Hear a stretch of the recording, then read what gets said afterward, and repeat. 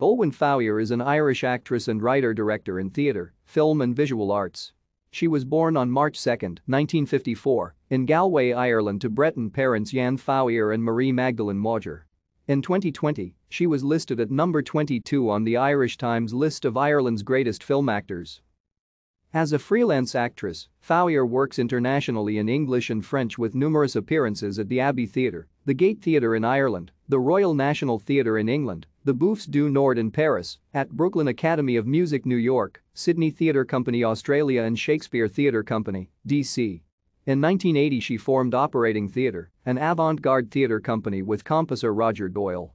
She later established an artistic entity called Themergency Room for the development of her ongoing projects which have included the creation of her internationally acclaimed River Run her staging of Lessness by Samuel Beckett her translation and production of Dance, Morob, written for her by the French writer Laurent Gaudé, and her translation and performances of Sodom, My Love also by Laurent Gaudé. A film project co-directed by Kevin Abosch from a script by Anne Enright titled Cassandra Fragments of a Play Script.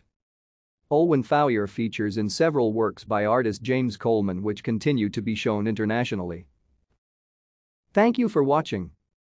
Like and subscribe if you would like to view more of our videos. Have a nice day.